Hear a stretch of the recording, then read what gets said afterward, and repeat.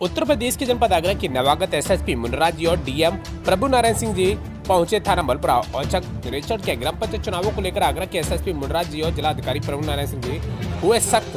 जनपद आगरा के थानों में जाकर कर रहे हैं औचक निरीक्षण। जनपद आगरा के थाना मलपुरा पहुँचे एसएसपी मुनराज जी और जिलाधिकारी प्रभु नारायण सिंह जी का संयुक्त औचक निरीक्षण किया। आपको बता दें कि पंचायती चुनावों की तैयारी को लेकर एसएसपी और जिलाधिकारी के सख्त तेवर दिखाई दे रहे हैं। एसएसपी मुनराज जी ने बताया कि आज हम जिलाधिकारी जी द्वारा थाना बलपुरा जाकर हमने चुनाव की तैयारी के बारे में देखा, क्योंकि चुनाव को निष्पक्ष तरीके से कराना है।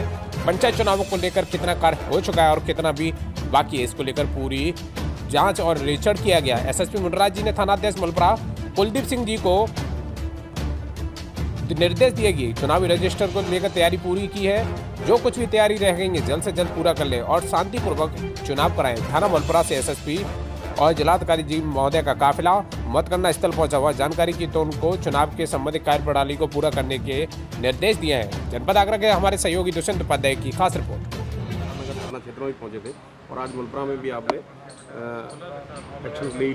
सर, क्या कहना चाहते हैं एक्चुअली अभी चुनाव पंद्रह तारीख का है। उसका तैयारी के लेके मैं सभी थाना भ्रमण कर रहा हूँ। पंद्रह दिन के अंदर सभी थाना में भी भ्रमण करना चाहिए, इसलिए मैं हर थाना जा रहा हूँ। अभी हम और डी सब जॉइंटली सभी थाना का निरीक्षण करने का प्लान है। अभी जाके हम लोग का मतगणना का स्थल भी देखा है काउंटिंग स्थल देखा।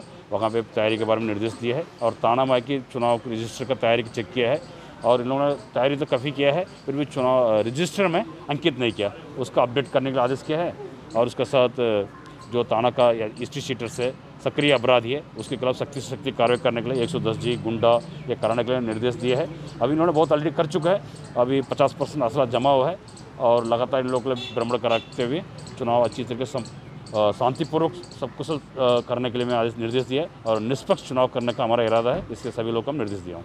सर थाना मलपुरा एक गज्जा का जो गांजा तस्करों का अड्डा बना रहता है इस पर कई बार कार्रवाई नहीं होती और कहीं ना कहीं लचीली कार्रवाई होती है। नहीं इसका अच्छी तरह कार्य होगा। अभी हम लोग स्टडी करेंगे। पहले मेरा प्राथमिकता चुनाव उसके बाद अपराध का भी हंड्रेड परसेंट कार्य करेंगे। इस तरह का जो भी अवैध चीज़ है हंड्रेड परसेंट प्रतिबंध करेंगे। उसका खिलाफ सख्ती से कार्य होगा।